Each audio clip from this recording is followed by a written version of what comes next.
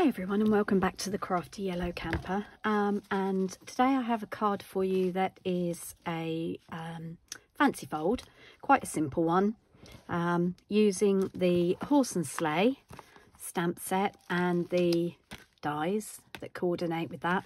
Um, these are not in any of the catalogues, these are an online exclusive and there is a pack of papers that goes with these as well, six by six papers um, which I thought I'd left on my desk to show you.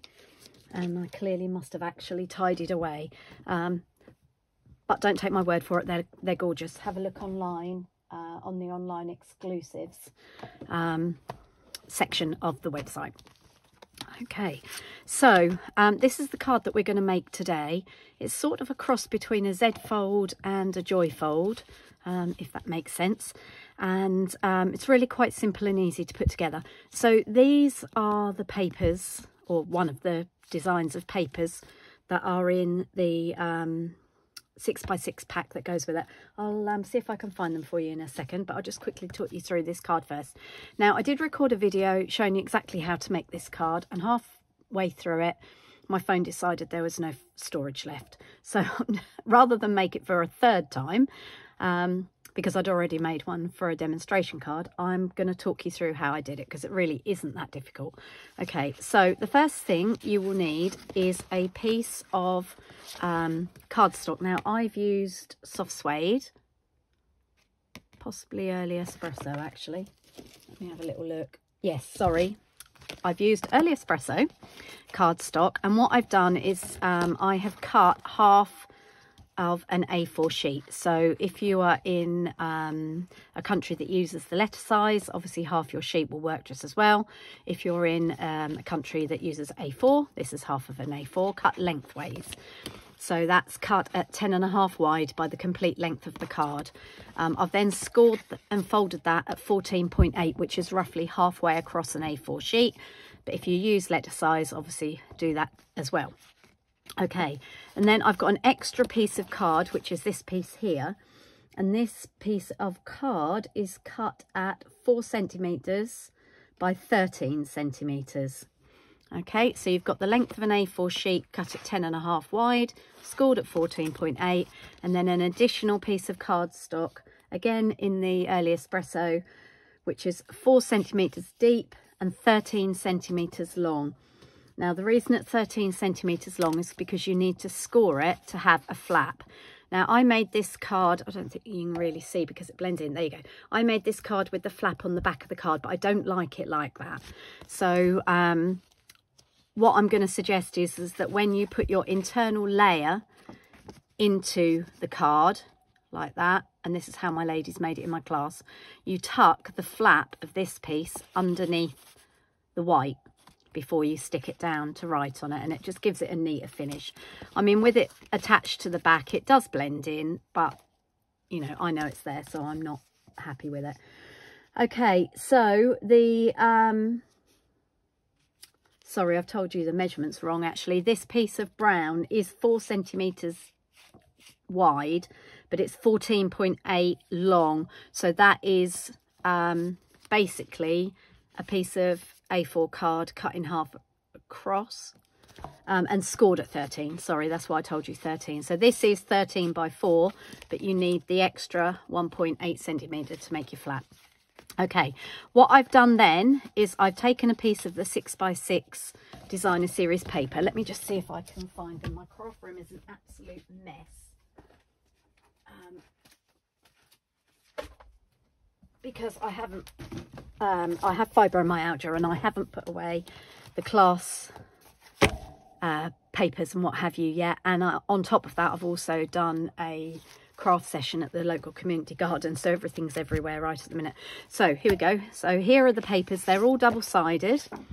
Um, there are several designs and if our memory serves me correctly, there are six sheets of each design. So we've got that one, this one, which is basically the cottage during the day, and that one is the nighttime one. Um, that's got this red on the back. The nighttime one has got this nice green. What else have we got? Sorry, my hands always flare up when I have a fibro flare up, which I have had this weekend, and it makes it difficult to hold things. This is one of my favourite. I mean, how cute is that?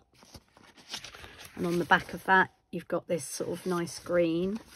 Um, all of the backs of these cards are perfectly usable for any other occasion after Christmas. This one I love. It's sort of like either a sunset or the or sunrise through the trees.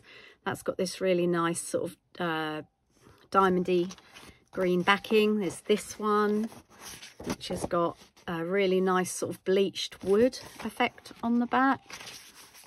Um, this one, which has got quite a nice blue with sort of a, a little dot, dottage on the back in sort of lines. Um, this one, trees and a fence, and that's got this sort of um, what colour that is actually. I don't know whether that's pecan pie. Um, sort of pattern on the back this one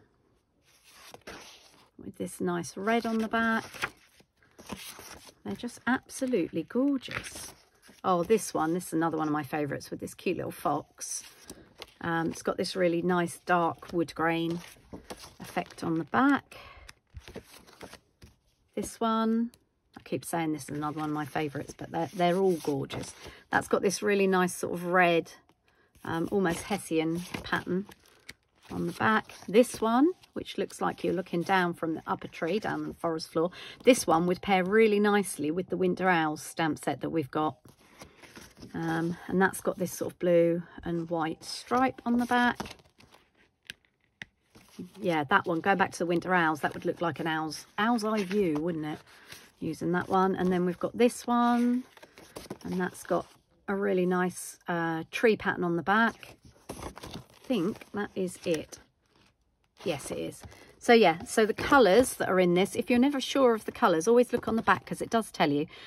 So you've got basic black, boho blue, Cajun craze, crumb cake, early espresso, lemon lolly, Lost Lagoon, Misty Moonlight, Mossy Meadow, Old Olive, Pebbled Path, Pecan Pie, Petal Pink, Pool Party, Real Red and Wild Wheat.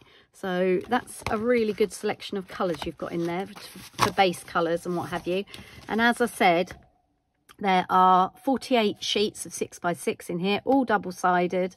And I'm pretty sure, as I said, that there are six of each design. So that paper, even though the front side of it is all Christmas or winter birthdays, perfect for winter birthdays, actually. Um, the back side of it, let's just take that off, is usable for the entire year round. Look at that. Some great ones there, particularly if you struggle with um, design series paper for masculine cards. There's some great ones in there that would work really well. So it isn't just for Christmas. Okay, right, so let's put that out of the way and get back to the card. Okay, so I've given you the card measurements. Then what I've done is I've taken a sheet of the 6x6 papers that I've just shown you and I've cut the main card front down to 10 centimetres by 14.3 and that layers up on our card front there. And then this section here for this piece of the cardstock you can't really see because I've got the sleigh on it that is three and a half centimeters by 12 and a half centimeters but what I've actually done is I've used the the bottom section of this six by six sheet. Because you're going to put the sleigh and the horse over the top of it it doesn't you don't really see much of it so it doesn't matter that it doesn't match up exactly okay so that's the dsp then what i've done is i've gone ahead and i've stamped the horse and the sleigh image. Now the nice people at stampin' up have given us a die that cuts out the horse and the sleigh. But what they've also done is given us some extra dies. So this die here that cuts out the runners for the sleigh and this die here cuts the scrolly part of the sleigh that fits in here now I've chosen not to use them this time and I've just coloured my horse and sleigh using the blends and I've added a little bit of um, Wink of Stella. But if you wanted to make it really stand out this die as I said this scrolly shaped die fits here. You could cut that in silver and equally or gold and you could cut the um, runners in a metallic finish as well if you wanted to do that. Okay, and as I said, I've just used my blends um, to colour these. They work really well for colouring those. And then to put it together, as I said, uh, matte layer on the front, before you stick your inside piece of card in, stick your scored section here on the inside of the card.